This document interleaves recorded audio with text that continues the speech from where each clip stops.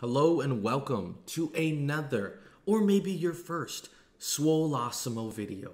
Today we're going over something near, something near and dear to my heart, because it helps you score in the red zone. I'm not a big fan of being in the red zone. I know you guys aren't a fan of being in the red zone. It's tough to score. And here I'm going to show you an ability you can use to instantly score in the red zone against any coverage, any defense, anytime. The ability we're going over today, you might be able to assume is the only ability with Red Zone in its name, besides maybe Red Zone Deadeye, is Red Zone Threat. Red Zone Threat has gotten me so many touchdowns in all Madden seasons and all pro seasons and weekend league. I don't play it too much regs, so I like playing against the MUT teams because they provide a little bit more of a challenger, it's more competitive. But I have to tell you, it has changed the way I play in the red zone.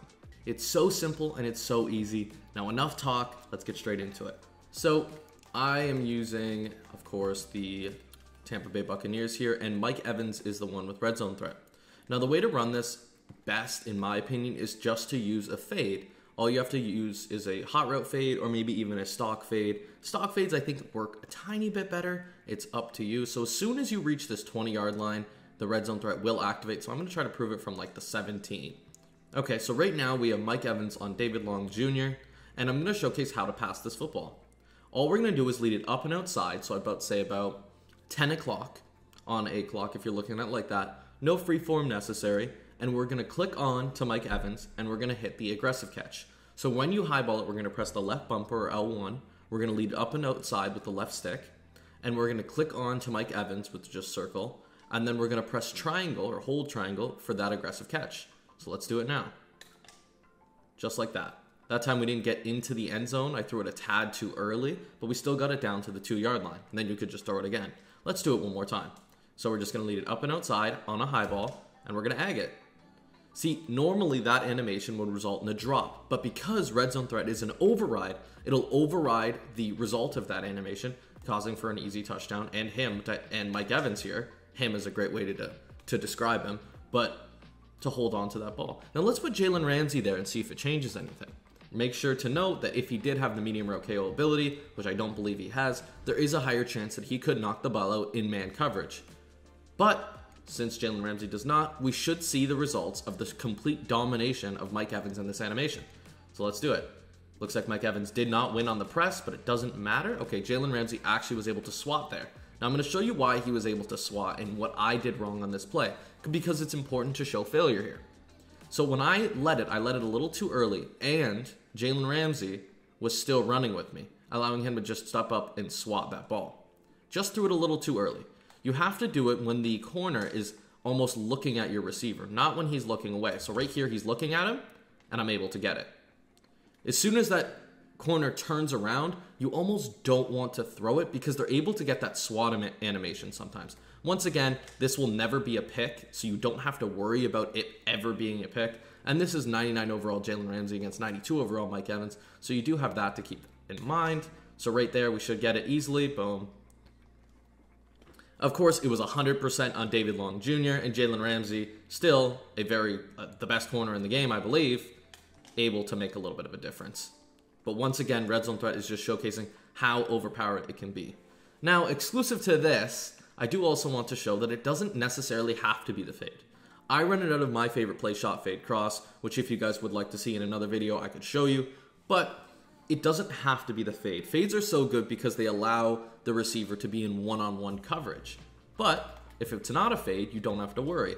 So right here, I'm gonna put Mike Evans in Chris Godwin's position, and we're gonna run corner strike. So this is a play that should give us one-on-one position while also being able to beat man and give us a little bit of separation on top of using the red zone threat. So right here we have Mike Evans one-on-one with Jalen Ramsey. He will likely lose the man coverage interaction, but he should win on the red zone threat interaction. That time we just overthrew it. Good throw, Mr. Stafford. Or Mr. Brady. Oops.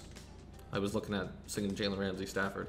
All right, here we go. So we should be able to throw that just like that and egg it. And even on the corner route, you notice that the red zone threat activates. What you want is routes that will make it a one-on-one coverage battle between the corner and the, the receiver. Now, it doesn't, now remember, it's not just corner routes, it's not just fades. I'm going to go over some other plays that where red zone threat could be incredibly useful. And let's just put him in the slot here. Let's put um, now, here's the problem though. If I do want to throw a crosser, I have to be very confident that it is a cover zero blitz. So if I'm in cover one hole here, it's highly likely that it'll be a two on one interaction. So right now I'm going to put him in a spy so it's not a two on one, and I'm going to put Mike Evans on a little bit of a deeper crosser. So now, knowing that it's man coverage here, we could throw Mike Evans on that crosser, red zone threat. Even if he gets pushed by whoever, he's still going to catch it. Now, we're going to cover how well red zone threat works against zone. I do want to note that red zone threat is slightly worse against zone, but not because it's losing in the one on one interactions, but instead it's worse against zone because there are more two on one interactions. But cover three, you'll notice it's still just as fine. So here's a one on one coverage in cover three, and Mike Evans comes down with it with ease. That's because it's one on one with the outside third, and that's why I recommend the fade so much, or maybe even a corner route, or any type of thing going to the outside of the field. But if they do run something like cover two, which should be in the audibles here, here we are. If you do want to throw it, you do want to make sure that that cloud is completely out of range from even making an interaction with you because you want that one-on-one -on -one interaction with the safety. See right there, we got a two-on-one interaction and we weren't able to catch the ball. But usually people will press their man, uh, Tampa 2 coverage. And this is also something you may want to run to the wide side to get more separation from the corner. Here we are, one-on-one, easy catch from Mike Evans. As long as you can force one-on-one -on -one coverage, whether it be man or zone coverage, the red zone threat ability will be super overpowered. Now cover four, same case with cover three, it's just the quarter gets a little bit closer, so that's all that we really need to know. That kind of covers the video. Implement red zone threat into your game. You will not have to worry about scoring in the red zone. Once people do start doubling your red zone threat, you don't actually have to worry about throwing it to them anymore. It sounds dumb. Don't throw it to your red zone threat when they're doubled. It could result in a pick. It could, probably won't, but it could. But as soon as they take two of their defensive backs to cover one guy, everything else on the field should be open. That kind of concludes the video. I hope you guys enjoyed. Make sure to check out the other videos. And if this helped you at all, hit the sub button. I post good tips. You guys have realized that by now. And have a great rest of your day.